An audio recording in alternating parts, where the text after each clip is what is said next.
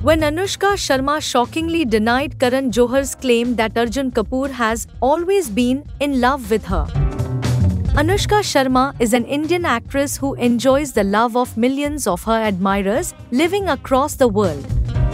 She is also one of those B-Town stars who shares a close bond with most of her colleagues and co-stars. But did you know that actor Arjun Kapoor was in love with her?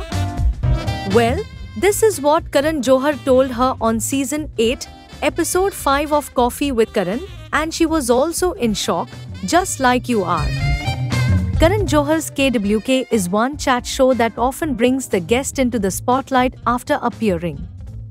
The filmmaker is known for digging the dirt and bringing some sensational and unknown facts out into the public domain.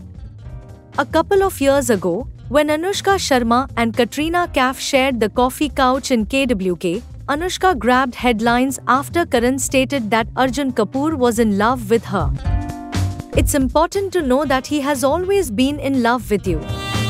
You know that right. Evidently, both Anushka and Katrina were shocked to learn about this.